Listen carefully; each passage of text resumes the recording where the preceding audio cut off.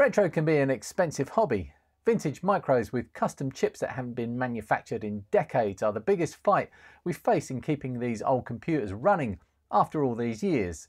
But thankfully, there are incredibly clever members of this retro community who pour hours of work into creating add-ons and replacement parts using modern tech.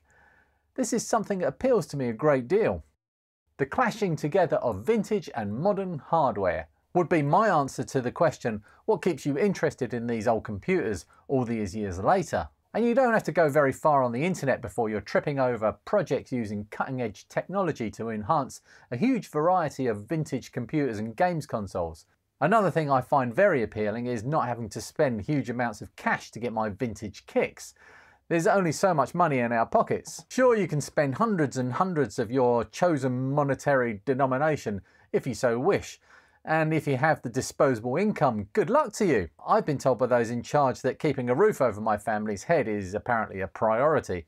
And so the projects out there that truly appeal to me generally involve using things like the Pi Pico or similar off-the-shelf boards that seem to be able to do just about anything you can think of with an 8-bit computer. Blue SCSI is a good example. Something that would have cost thousands back in the day can be bought easily or even built yourself for a very reasonable amount. This one's not blue. Another recent great example I came across is this A8 Pico cart by Robin Edwards. I ordered a load of these boards and some of these special purple Picos, which have more memory on board than the standard ones and happily put one together to go with my Atari XEGS. It's basically an Uno cart for the XL and XE Atari 8-bits. Sadly, when I turned on my XEGS, it was no longer working and I've not been able to fix it yet. So the video I was intending to make on these has been shelved until I can either fix my XEGS or finally add an Atari 800 XL to my collection. These boards, which you can get for almost nothing from your favourite PCB manufacturer, only require a Pico, even the button is optional. I have no idea how they managed to make this work, but I'm very grateful they did, or I will be once I get to use one. But this isn't about Atari. The Commodore 64 is one of my favourite computers to repair with its custom chips and readily available schematics. I really enjoy figuring out why each one has stopped working. This big pile here took me a few days to work through and I had loads of fun. The first one took as long to fix as all the others combined and out of these 11 machines, seven of them have broken SID chips. Some of them have bad PLAs too, which are easily fixed with the GAL PLA board for just a few pounds. But the SID, well, the SID is a different story. To replace a SID, you can pay between £25 and £40 for an original. And as they're not the most reliable chips around, you could put that SID in your C64 and it might fail tomorrow. Given that a worked the last time I put it in my loft 30 years ago C64 can be bought for around £50 on eBay, it starts to feel like a bad idea to spend so much on one single custom chip. And it's not the only one. If you're really unlucky and your untested spares or repairs C64 has a bad PLA, a bad VIC-2, a bad CIA or 2, and a bad SID, you can wave goodbye to all your initial investment and then quite some more. But those clever people I mentioned earlier have been hard at work again, and many of these custom chips can now be replaced with modern alternatives which work in exactly the same way as the originals, sometimes even better. The VIC-2 Kawari probably doesn't fall into my budget category, but it does add a lot of extra functionality that's difficult to pull off with an original VIC-2, HDMI for instance. But that particular example is much too rich for my blood. I can't be spending over 100 euros on a single chip for the C64. Let's get back to the SID. There have been lots of different replacement SID options developed, using different modern hardware to try to pull off a tricky job. After all, the SID doesn't just deal with digital signals like all the other chips in the C64, oh no. The SID also has analog signals, which is handy when you're trying to generate sounds. Now, in researching this video, I started to read about the inner workings of the SID chip and how it can use three voices to pull off clever audio tricks resulting in its distinctive and way ahead of its time sound. But that all quickly went over my head and nobody really watches my videos expecting a deep dive into any technology. Ask me about the merits of pickled onion monster munch. I can talk your ears off on that subject. What I'm interested in here is bringing this pile of C64s back to life. Without a working SID, they're no good to anyone. In fact, some of these have been sat here in my workshop designated as spares machines.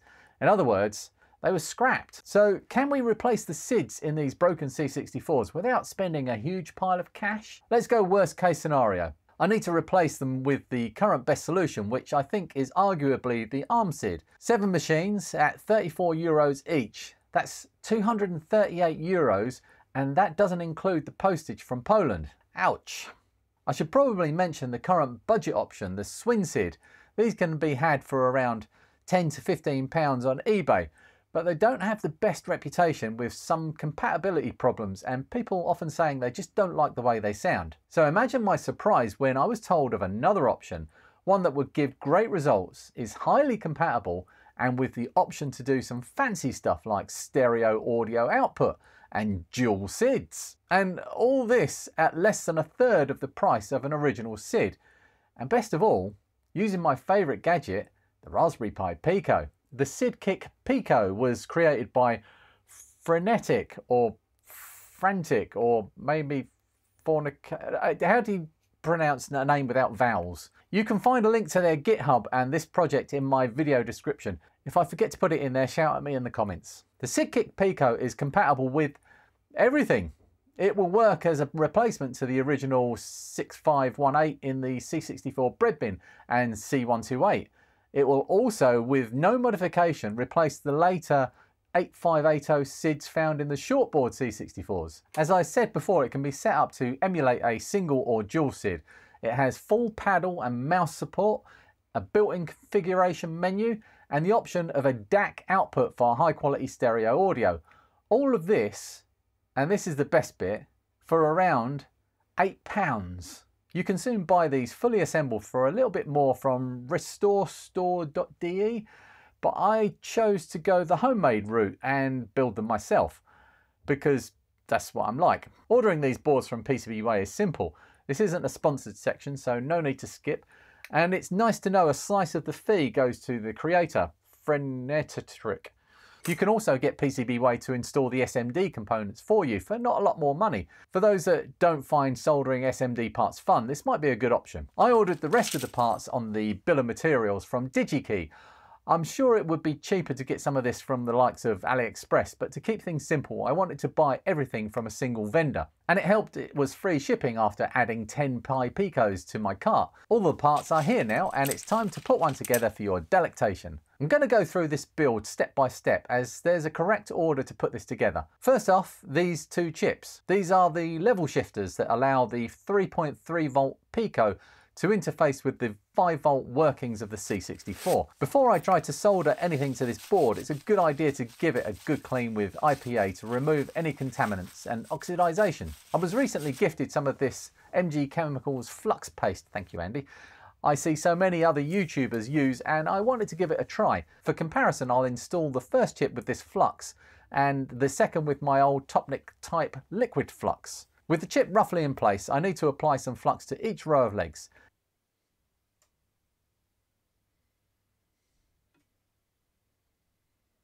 And here I run into the first problem. The flux is so thick and sticky it's making it difficult to see the alignment of the chip on the pads. On the plus side, the chip doesn't want to float around. Now with my soldering iron in my right hand, I add the smallest dab of solder to the tip. And with my left hand, use my tweezers to hold the chip in place. Then, very carefully, I touch the solder to the base of the pin and the pad in one corner, giving it time to heat the pad underneath. That's one corner fixed in place. Next, I need to check everything is still lined up. If it's not, I can reflow that one corner and nudge the chip into the correct place. The good thing about this MG Chemicals flux paste is it doesn't immediately burn off like the Topnic liquid. I'm happy with the alignment now, so again with another tiny dab of solder I can fix the opposite corner in place. Don't worry about the bridges at this stage, they can be sorted out in a bit. Another check to make sure nothing has moved. A bit of a bigger blob of solder. It's a feel thing, you get used to how much you need for each type of job. And then it's just a case of dragging that solder over those legs, making sure they each have time to heat and the solder can flow onto the pads. The same for the other side.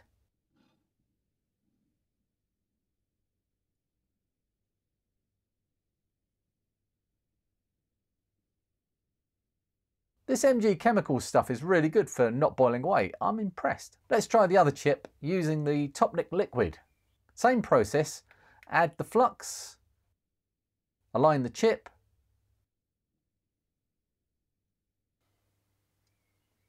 tack one corner, tack the other. Now the big difference is the flux is now gone and I need to brush more onto the legs. This small bottle lasts ages so it's not a problem in terms of wastage but it's another step each time. That's one side flowed and again with the flux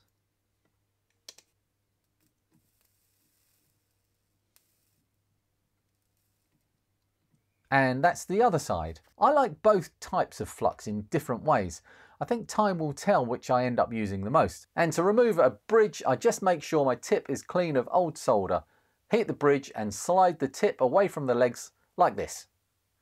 Some of the solder will always want to stick to the iron if it's clean, and some will stay on the legs. If it doesn't remove the bridge, I clean the iron again and repeat till it does. If the flux is all burned away, it's worth adding some more to help this happen. Right, now the chips are in place, I need to install the resistors, a couple of capacitors and a diode. These are 0805 parts, which mean they are 0.08 by 0.05 inches, or in post-1960s measurements, 2 millimeters by 1.25 millimeters. That sounds small, but with a good set of head-mounted goggles, I find these pretty manageable, even without a microscope. I'll show you how I install this capacitor and the rest are exactly the same. Using tweezers I get the part roughly into the right place and then dab a drop of liquid flux onto it. I tried with the flux paste but that makes everything too sticky and the capacitor would just stick to my tweezers. Next I moved the component into the right spot and then with a tiny touch of solder on my iron while holding the part in place with light pressure from my tweezers, I touch the solder to the pad and the component on one end. Then before the flux evaporates, I do the same for the other end. If it doesn't flow into a nice fillet, another drop of flux and a dab of the iron will sort this out.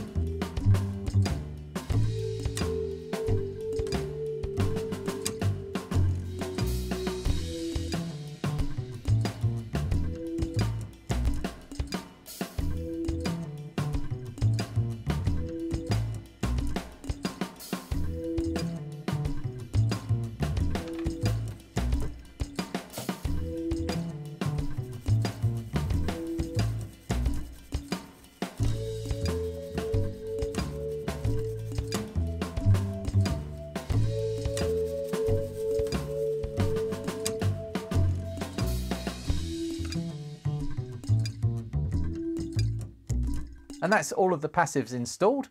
This side with the SMD components is actually the bottom side of the board and will face down in the C64 when I'm finished. The header pins to mount this in the SID socket need to be installed here and here. First, I need to install just this row of 14 pins in the middle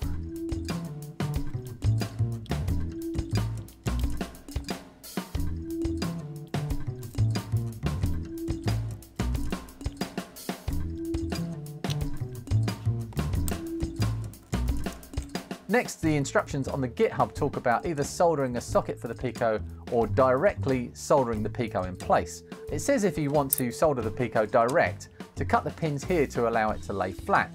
But I tried that and even cutting them flush to the board, the Pico doesn't sit flat enough to bridge the connections on both sides. So instead, I'll just solder a standard pin header to the Pico and then solder that to the SIDKick board.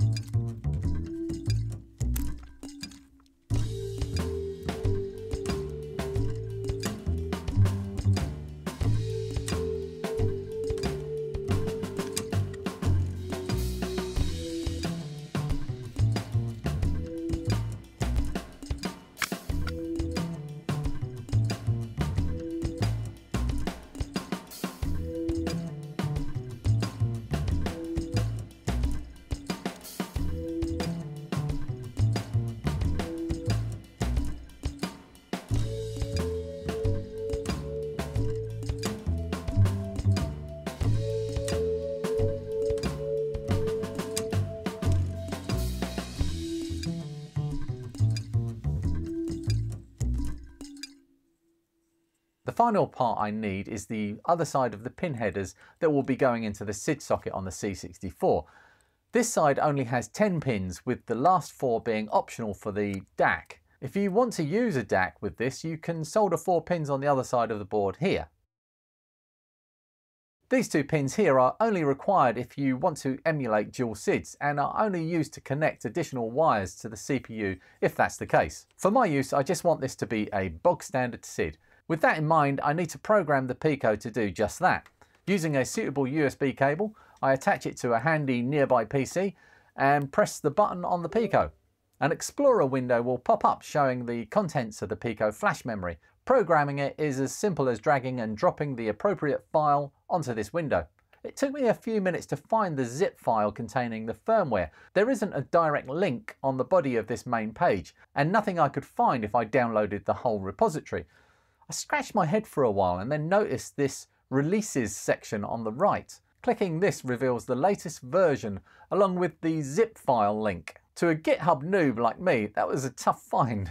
The file I want is the standard PWM version without fancy LED or RGB stuff. Dropping that file onto the Pico window should make it disappear and that's it programmed. This is now, if I built it properly, a fully working SID replacement.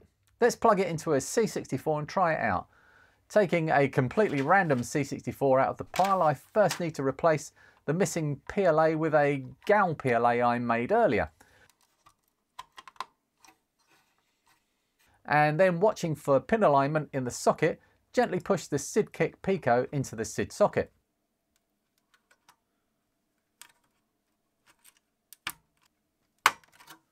Now, Adrian has his signature dance party Donkey Kong music, which he knows exactly how it should sound for testing SIDs. For no reason other than this is the one I've always used, I tend to use 1943. The menu music comes up right away and is, for me, a good test.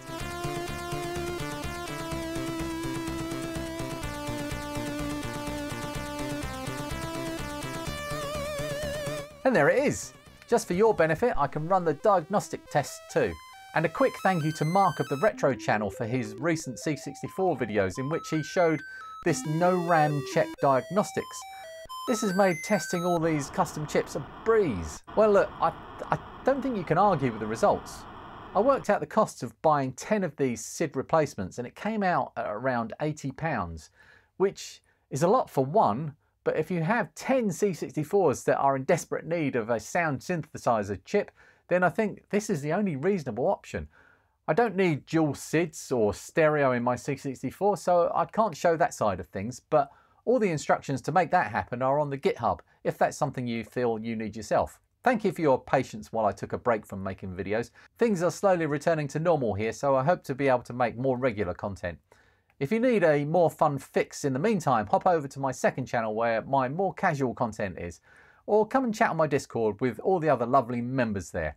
Everything is free here, no paywalls or tiers. Right, next project is awaiting. Bye! Do we think you'll mind?